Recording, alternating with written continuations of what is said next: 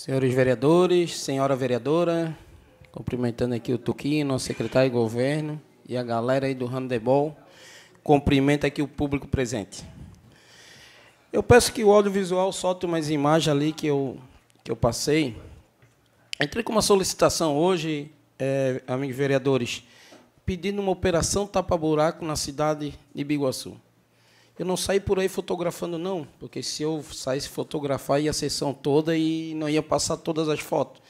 Essas fotos só foi as que eu recebi por WhatsApp. Essa reclamação aí da, é, da nossa população.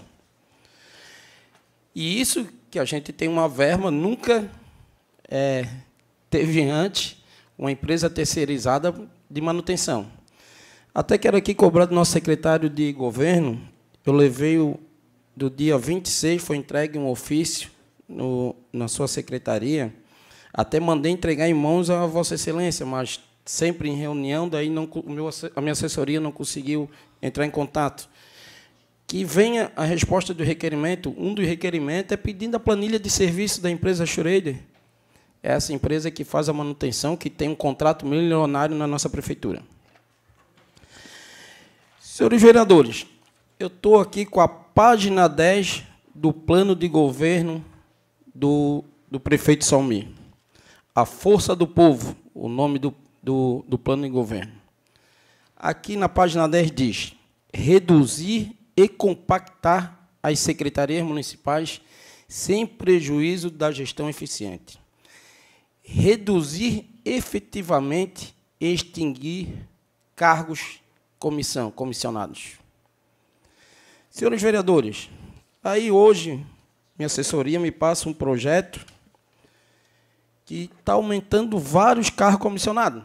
Eu acho que está em desencontro, né, vereador Maneca, do que ele prometeu lá na eleição. Um custo de mais de 2 milhões por ano para aumentar carro comissionado. Senhores vereadores, esses 2 milhões por ano, será que a nossa saúde está bem? Será que a nossa educação está ótima? Com esses 2 milhões por ano, ele podia botar 24 horas pediatria na UPA. Três, quatro pediatras. Poderia fazer a tão é, pronto de autoatendimento no bairro Bom Viver. Para o pessoal não se deslocar para cá.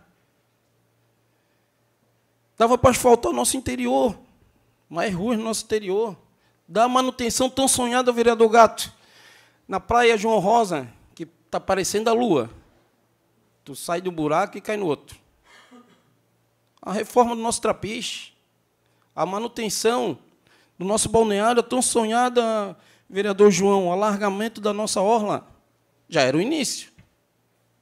Mas não, ele vai criar 24, eu acho que não, não contei o certo, 24 carro comissionado. 23. E a maioria é subsecretário. Isso é um absurdo, gente. Prefeito, revisa isso, mas está aqui nessa casa. Eu acho que os vereadores têm consciência que esse dinheiro que ele quer aumentar aqui para padrinhar apoiadores políticos, ele consiga, ele consegue botar médico. A gente não consegue um, um psico, psiquiatra. A gente, o povo está clamando por exames e não tem. Um cardiologista, a gente só tem cardiologista trabalhando 20 horas no município. Morre do coração e não vem o atendimento. E aqui, manda para essa casa o aumento de 2 milhões por ano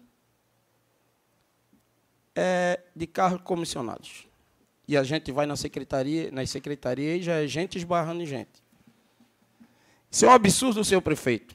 Cumpra o que o senhor prometeu lá no seu plano de governo.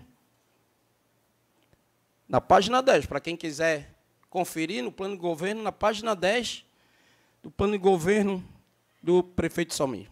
Queres uma parte, vereador Salete? Vereador Fernando, vereador Fernando, senhores vereadores, munícipes que hoje nos acompanham. O vereador Fernando falou que ia falar sobre esse assunto, só dei uma pincelada. Mas está aí o plano de governo. O plano de governo é, deveria ser um deveria ser uma ação que deveria gerar, inclusive, improbidade administrativa. Porque quando a pessoa vai para a população pedir voto e não sabe o que, que está prometendo, ela não merecia nem colocar os pés na prefeitura. Porque a gente fica aqui igual, os atletas estão aqui, eu estou falando dos atletas, mas também falo dos pais que têm crianças autistas, que precisam de um psicólogo, de um psiquiatra, para amenizar um pouco o sacrifício deles, o sofrimento deles. Eu estou falando de pessoas, de crianças no Recria, que infelizmente nem alimentação adequada estão tendo. Aliás, agora parece que a educação está remanejando é, é, alimentação. A gente está falando de pessoas que estão com dor de dente, em pleno, em pleno ano de 2022, as pessoas estão com dor de dente, infelizmente não conseguem hora para dentista. Senhores vereadores, a gente está falando de uma coisa séria, são 2 milhões de reais para o ano de 2023. Quando falavam que era para padrinho, para isso aquele cargo comissionado, é natural que se tenha. Agora aumentar em número 15%. É 15%. Tão fatídico esse 15%, né? É 15% do número é, é, é, de cargo comissionado que vai aumentar. E pasmem, não cria nenhum cargo para dizer assim, esse vai cuidar mais da saúde ou mais da educação. Não. Também não pede é, uma formação adequada. Tá? É realmente cargo político.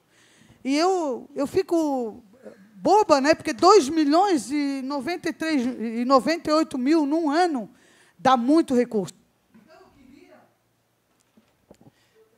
Obrigado pela parte, vereadora Salete. E, e para deixar claro, gente, a gente está no final de ano, uma troca de governo federal, muitos empresários, a população em geral preocupada, uma troca de direita para a esquerda. Esperando que vem, prefeito. Empresa segurando é, investimentos, gente parando de. Só mais um minuto, senhor presidente. Gente parando de comprar, conversando com pessoas que já tinham negócios engatilhados, parando de comprar com medo da virada de governo, o que, que vai acontecer? E, ao contrário, o nosso prefeito manda aqui um aumento de gasto com cargos comissionados de 2 milhões e pouco. Prefeito, dá uma olhadinha no FPM do próximo ano. Com essa troca de governo, eu tenho certeza que vai baixar. Era isso só, presidente. Meu boa noite a todos.